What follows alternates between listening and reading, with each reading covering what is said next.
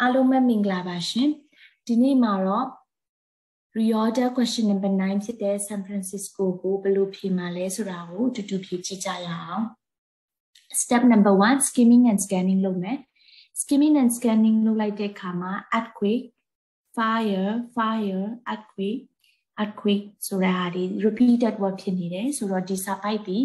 earthquake နဲ့ fire ကြောင့်မလို့ဖြစ်စီတဲ့အကြောင်းဖြစ်နိုင်တယ်ပေါ့ step number 2 topic sentence ရှာမယ် topic sentence ရှာဖို့အတွက်စာကြောင်းတစ်ကြောင်းချင်းစီရဲ့အစာကို like ဖတ်ကြည့်ကြမယ် but but နဲ့စရဲဆိုတော့ဒီစာကြောင်းဒီအဲ topic sentence ဖြစ်နိုင်ဘူးနောက်ထပ်တစ်ကြောင်း the fire fire နဲ့စရဲဒီစာကြောင်းဒီမီးအကြောင်းပြောထားတယ်ပေါ့နော် fire မီး fire ကြောင့်မလို့ပျက်စီးတယ်နောက်ထပ်တစ်ကြောင်းကိုပြန်ဖတ်ကြည့်လိုက်တဲ့အခါမှာသူဒီအဲအကွေကြောင့်မလို့ဒီဒီ CTO ပေါ့နော်မြို့ကိုပျက်စီးတဲ့အကြောင်း အဲနောက်တစ်ကြောင်းကိုပြန်ဖတ်ကြည့်တော့ဒီဟာဒီ earthquake ကဘယ်လောက်ပြင်းအားရှိတယ်ဘယ်လောက်အကြောင်းဖြစ်ခဲ့တယ်ဆိုတာကိုပြောထားတာပေါ့နော်ဆိုတော့အခုစာကြောင်းတစ်ခုချင်းစီကိုလိုက်ဖတ်ကြည့်လိုက်တဲ့အခါမှာဒီနှစ်ကြောင်းဒီ earthquake အကြောင်းကိုပြောထားတာဖြစ်ပြီးမှဒီနှစ်ကြောင်းဒီ fire အကြောင်းကိုပြောထားတာဖြစ်တယ်ဆိုတော့ဒီနှစ်ကြောင်းဒီအတွဲဖြစ်နိုင်တယ်ဒီနှစ်ခုဒီအတွဲဖြစ်နိုင်တယ်ဆိုတော့ဒါလေးတွေကို order လုပ်ကြမယ်ပေါ့နော်စီကြမယ်ဆိုတော့ဘယ်ဟာကိုအရင်စ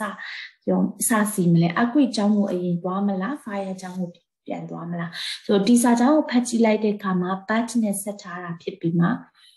bat နဲ့ဆက်ထားတာဖြစ်တယ်ဆိုတော့သူကအရှိမတစ်ခုခုကိုအရင်ပြောခဲ့ရမယ်ပေါ့ဆိုတော့ fire ဒီ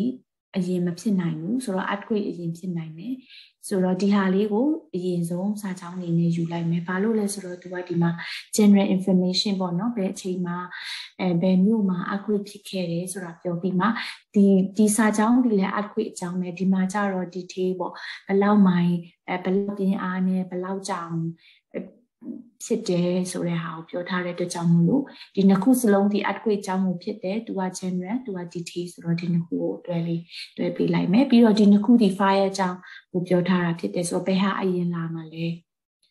ဒီအရှိကနှစ်ကြောင်းဒီ earthquake အကြောင်းကိုပြောတာဖြစ်တဲ့အတွက်ကြောင့်မို့နောက်လာမယ့်အကြောင်းဒီ topic တစ်ခုပြန်ပြောင်းသွားတာဖြစ်တဲ့အတွက်ကြောင့်မို့လို့ bad နဲ့ဆက်ထားတဲ့စာကြောင်းလေးကို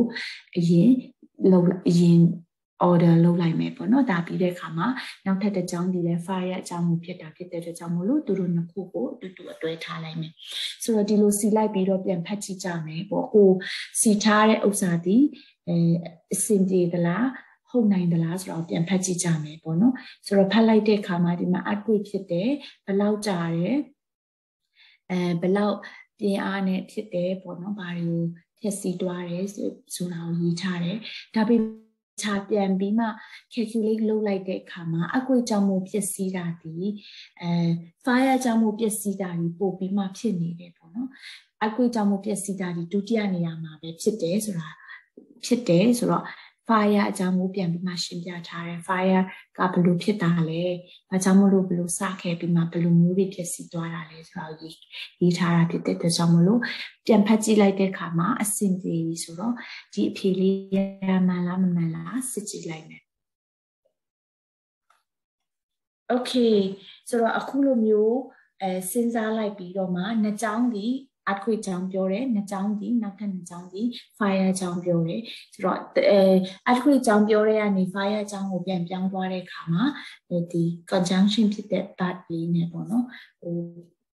မတူတဲ့ idea နှစ်ခုကိုပြောထားတာဖြစ်တဲ့အတွက်ကျွန်တော် back နဲ့ဆက်တဲ့ဟာလေးနဲ့ပြန်ပြီးမှဆက်ပေးလိုက်ပြီးမှ order လုပ်လိုက်တဲ့အခါမှာ reorder San Francisco question number 9 San Francisco ကိုဘယ်လိုဖြေရမလဲဆိုတာကိုအဲတူတူဖြေကြည့်လိုက်တဲ့အခါမှာ ကောင်းကောင်းမွန်မွန်နဲ့ဒီ reorder ကိုဖြည့်ရှင်းသွားနိုင်ပါတယ်